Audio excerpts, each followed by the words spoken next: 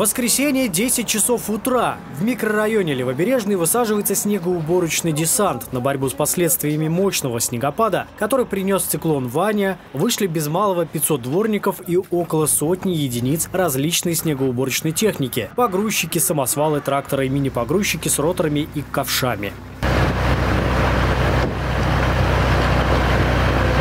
На особом контроле у коммунальщиков проблемные участки, откуда поступало больше всего обращений и где наблюдается массовое скопление припаркованных автомобилей. Это улицы Совхозная, Зеленая, Библиотечная и Пожарского. Через домовые чаты химчан попросили переставить машины, что упростило уборку.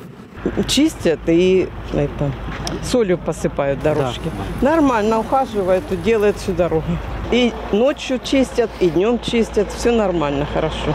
Помимо придомовой территории, коммунальщики расчищали подходы к остановкам общественного транспорта и железнодорожной станции, освобождали из снежного плена детские площадки, территории школы, поликлиник, пешеходные зоны, тротуары, лестницы и спуски. Видно, что люди убирают, убирают. Ну Вот везде уборка, организованная техника и люди вышли. Несмотря на то, что снегоуборочная техника работает во всех микрорайонах одновременно, коммунальщики усилили бригады на наиболее проблемных участках. Мы разбили городской округ на 5 локаций. И усиливаемся каждый день, э, ну, масштабно проводим уборку в каждой из локаций. Вот начали сегодня с Левобережного, вот, продолжаем. Завтра у нас это новые территории с частью сходни.